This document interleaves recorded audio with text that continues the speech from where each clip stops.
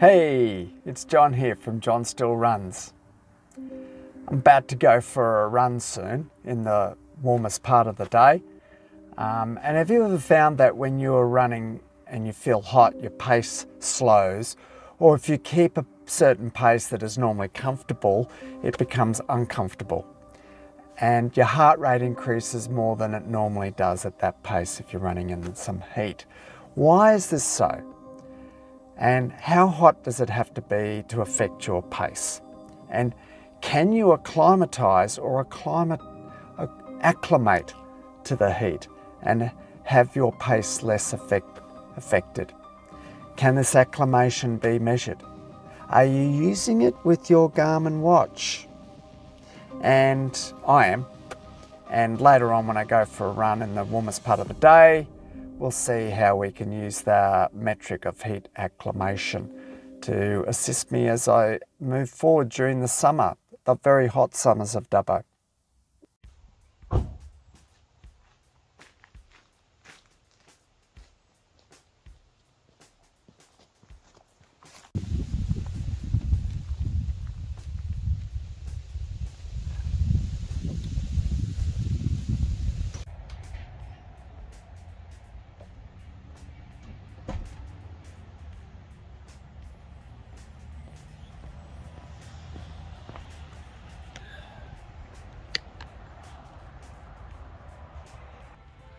Back.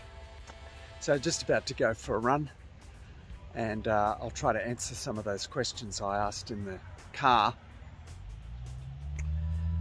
Before you go for a run though, it's a little hot, may I suggest that you wear the right gear. Um, perhaps a singlet, some sunglasses, cap.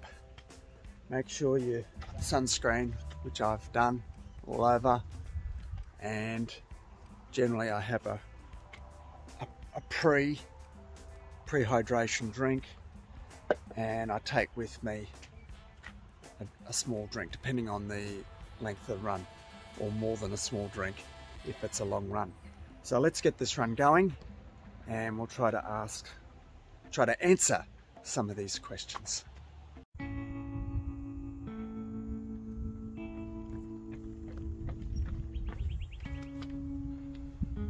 So why is it harder to run in the heat? I guess um, your neurological system, your brain and nervous system know that it's not good for the body to rise in temperature too much. So it starts directing messages to your, um, your, your, skin surfaces and uh, to open up the sweat glands and at the same time decreasing the amount of blood going to the to the um, uh, central part of your body towards the periphery, where the little blood vessels known as capillaries can open up and supply more blood to that area. Between the sweat glands and the capillaries opening up, you'll sweat more freely, and through evaporative heat loss, your body can attempt to cool down. Um, now, that's an interesting thing for people. Some people do it better than others and heat uh, acclimation is the key. So as the blood is directed away from your cardiovascular system, you become less efficient. So your heart rate has to rise or your pace has to drop. One of the two or both. Otherwise, you're gonna cook.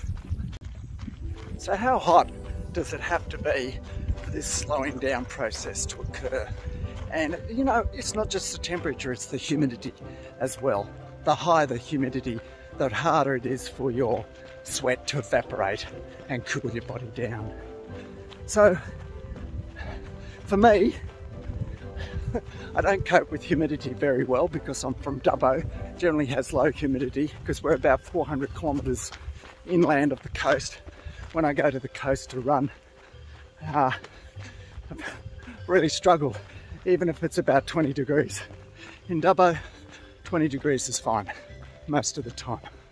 So it de depends on the humidity. Um, and it depends on how acclimatized you are to the heat, or as Garmin call it, heat acclimation. So can you measure heat acclimation?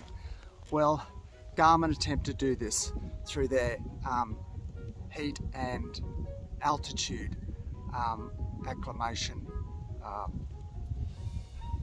algorithm, which some watches have. My watch has it, Instinct 2S, maybe yours does too.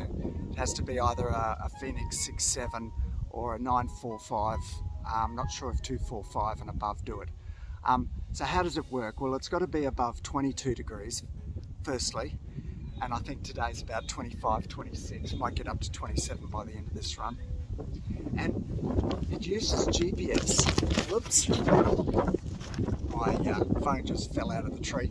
It uses GPS and weather data from your phone, so you've got to carry your phone with you, um, and you've got to have make sure that Bluetooth connection is uh, with your watch, and it will adjust your training state status and VO2 max according to the numbers that it gets and gives you a, a change in uh, percentage acclimation. So mine recently said 25%, then it went down to 20%, 15%. I don't know what it's going to be after this run. It's probably not hot enough because I haven't done any hot runs since last Friday. After about three days, it loses some of the percentage, or you lose some of your heat acclimation.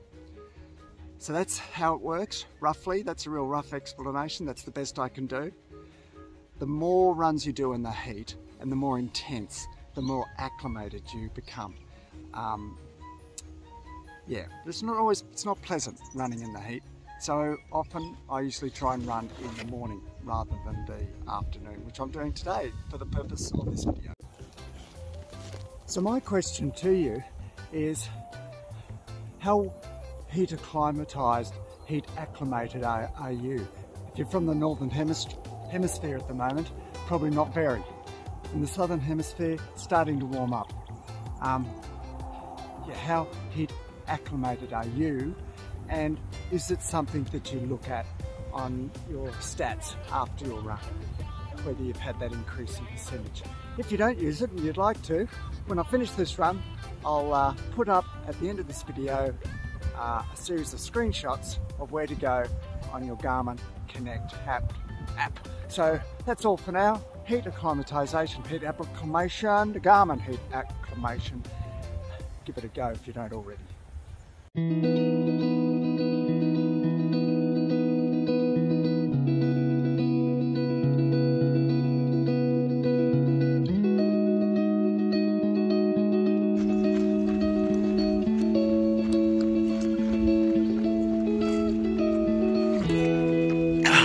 Cheers.